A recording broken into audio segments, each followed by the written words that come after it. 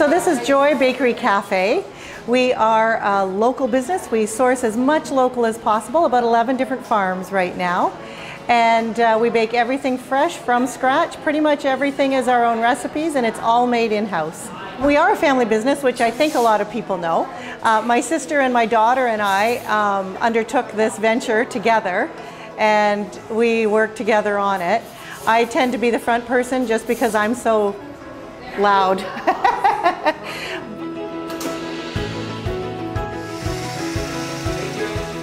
we definitely came in with the plan to do as much for downtown as we could. To rather than compete, we really wanted to complement downtown. And I think that's really paid off. We've seen a lot of support. Um, we actually continued to grow through the pandemic. It's certainly been challenging as far as keeping up with all of the restrictions, but uh, between my sister and all of her research, we've been able to stay pretty safe.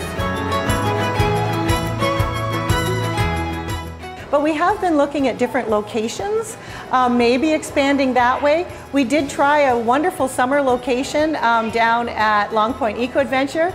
That was a really great experience. Thank you so much to the Chamber of Commerce for this award. My sister and my daughter and I are amazed to get it, particularly in, the year, in this year, the way it's been. Um, we really appreciate the recognition.